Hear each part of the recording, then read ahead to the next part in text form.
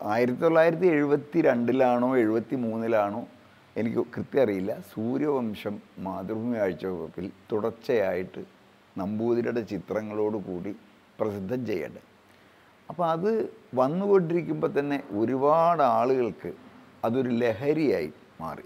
ഭയങ്കര മാജിക്ക് വാക്കുകളുടെ മാജിക്ക് അത് ഇപ്പോൾ ഉദാഹരണത്തിന് കൽപ്പറ്റ നാരായണൻ കൽപ്പറ്റ നാരായണന്റെ ഒരു ലേഖന സമാഹാരത്തിന്റെ തലക്കെട്ട് തന്നെ ഏതിലെയും മധുരിക്കുന്ന കാടുകളിൽ. അത് സൂര്യവംശത്തിലെ ഒരു വാക്കാണ് വാക്യമാണ്.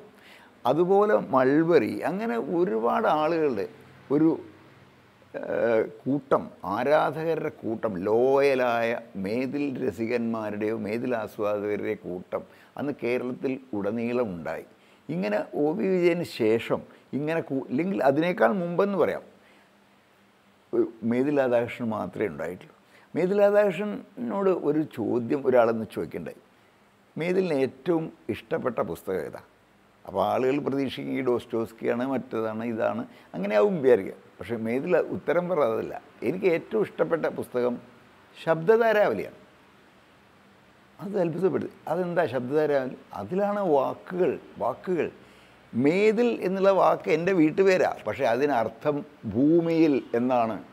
അങ്ങനെ എന്റെ വീടിന്റെ അർത്ഥം എനിക്ക് പറഞ്ഞു തന്ന പുസ്തകത്തിനല്ലേ ഞാൻ സ്നേഹിക്കുക? അതാണ് മേതിലിന് ശബ്ദധാരാവലിയോടുള്ള ഇഷ്ടം. തന്റെ ഗൃഹത്തിന്റെ അർത്ഥം മനസ്സിലാക്കി തന്ന പുസ്തകം.